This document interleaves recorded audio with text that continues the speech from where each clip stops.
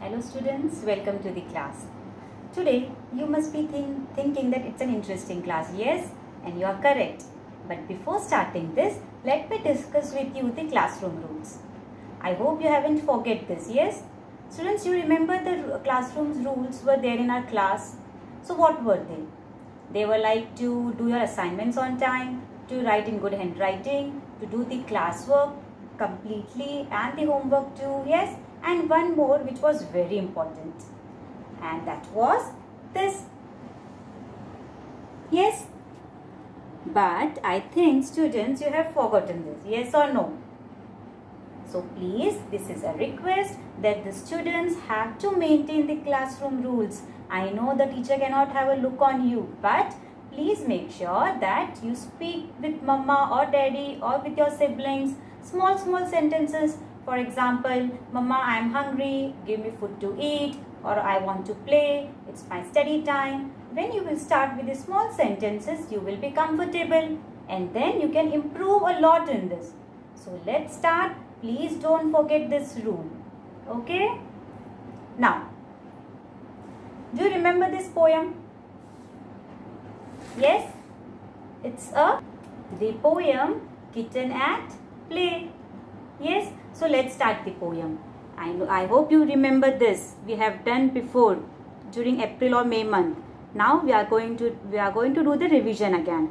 So let me start the poem. See the kitten on the wall. Can you see the kitten on the wall? This is a wall. So see the kitten on the wall. Spotting with the leaves that falls. Now she is playing. Spotting means playing. So she is playing with the leaves that falls. Withered leaves 1, 2, 3. Now can you see the leaves are dry? So withered means dried leaves. Dried leaves 1, 2, 3 that are falling from the tree. Through the calm and frosty air of the bright and fair.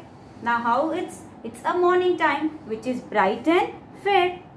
See the kitten how she starts. Now let's see how she catches the prey crouches, stretches, paws and dart. Stretches means is she stretching her body like this?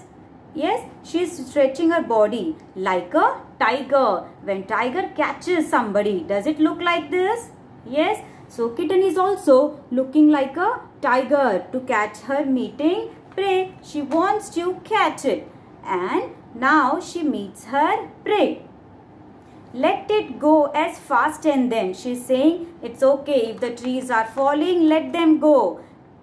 Has in her power again. She's saying again I can have the leaves which are falling from the tree. I can catch them.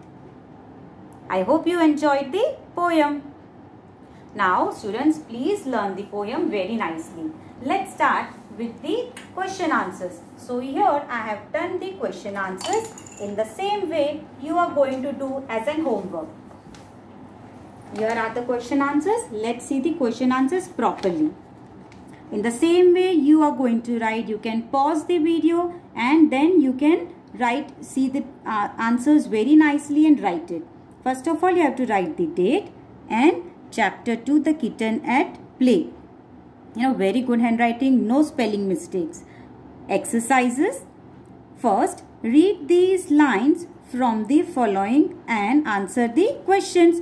What is this line? See the kitten on the wall. Now this is a line, first line of the poem. Who is the speaker here? Who is the speaker? The speaker is the poet because poet is saying us, see the kitten on the wall. Next, who is he or she speaking to? Now to whom the poet are saying? The whosoever are passing from here Whosoever are passing from here, the poet is saying that, see the kitten on the wall. So they are called the passers-by. So the answer is, the poet is speaking to the passer-by. Next, let it go as fast and then. What is it here? It refers to the leaf. That means the kitten is going to eat the leaf. Next, what happens then?